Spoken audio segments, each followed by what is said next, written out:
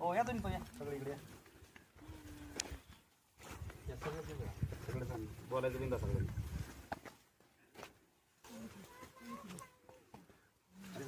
चार ना? दादा इकडे पुढे या थोडं तुम्ही. ते थोडस हे माहिती झालं येते ना येते ना आली. येईन तर इकडे. इकडं नाही घेतलं असं जरा थोडं पुढे या. हम्म. दिसतं सगळं व्यवस्थित?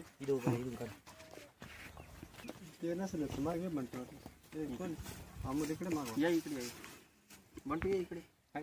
शेट तुम्ही थोडं अं, मध्ये या ना जरा मागून या ना मागं जाय हे केलं ना? मागून या. पोहोच केलं की हां चालू करा. ओके. नमस्कार मित्रांनो.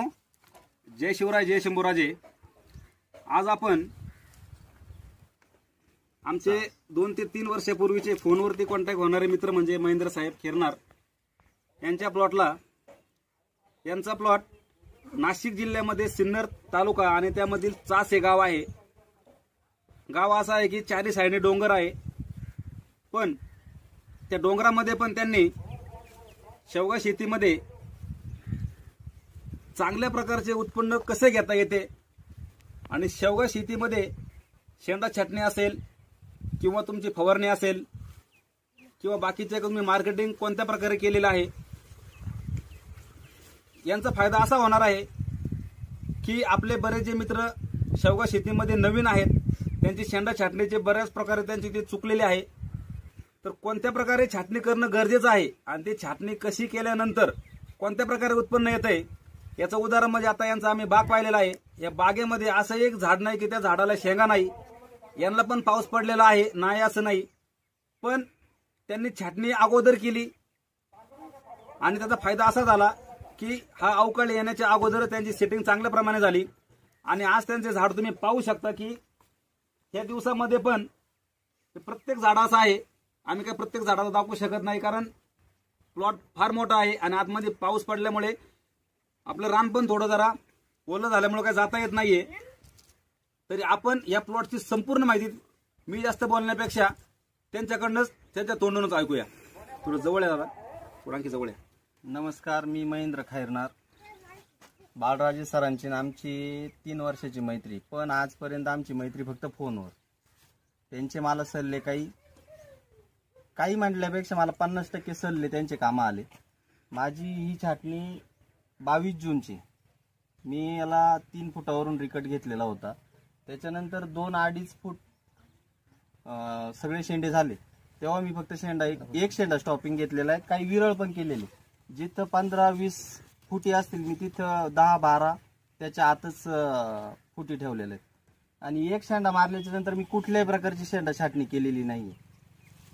त्यांनी मला असं एक अं, हे जाणवलं का जर आपल्याला पावसाने जरी डिस्टर्ब केलं जर शेंडा चालू असेल तर आपल्याला वर पण माल मिळत मिळत राहतो माग पण मिळत राहतो. ज्यावेळेस आपण शेंडा स्टॉप करतो त्यावेळेस मा- झाड पूर्णपणे स्टॉप होतं.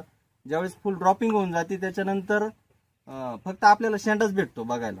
म्हणजे फुल वगैरे मगर काही भेटत नाही. हा माझा स्वतःचा अनुभव आहे आणि हे प्रात्यक्षिक आहे. आता साहेबांनी सांगितल्याप्रमाणे तुम्ही इकडे दाखवा साहेब. हा आता हे पहा इकडे. एक डायरेक्ट प्रात्यक्षित आहे. हे पहा या ठिकाणी यांनी यांची छाटणी केल्यानंतर साधारणपणे अडीच ते तीन फुटानंतर पहिला शेंडा स्टॉप केला. जो माझा चिंच आहे साक्षीला जो प्लॉट आहे त्या प्लॉटमध्ये पण माझं सेम कंडिशन आहे. पण साहेब माझ्या याला झाडाला फ्लॉवरिंग आहे पण शेंगा तुमच्या एवढं नाहीयेत. ते कमी आहेत. माझे पण दोन प्लॉट असे आहे का मी काही जणांचं ऐकून शेंडा मारलाय ते दोन प्लॉट माझे आजही फेल जिथं इथं समजा दुसरा शेंडा त्याचा इथं झालाय. इथंच पाच सहा शेंगा आहे बरोबर. त्याच्यानंतर मालच नाही. मग तुमचं असं म्हणणं आहे की ज्या वेळेस आपण शेंडा छाटणी करतो सॉरी पंजा छाटणी केल्यानंतर पहिला शेंडा हा अडीच ते तीन फूट कट करायचा आणि त्याच्यानंतर परत कट घ्यायचा शेंडा नाही. मारायचा नाही. आता हा शेंडा आहे. हो. वरपर्यंत शेंगा आहे. वरपर्यंत शेंगा आहेत. हा शेंडा आहे. सगळ्या शेंगा आहे सगळ्या याला शेंगा आहेत. स्टॉपिंग कुठंच नाही. सरांचं असं एक म्हणणं आहे की पहिला आपण शेंडा घेतल्यानंतर त्याला पुढं जो शेंडा जातो तो जास्त फास्ट चालत नाही.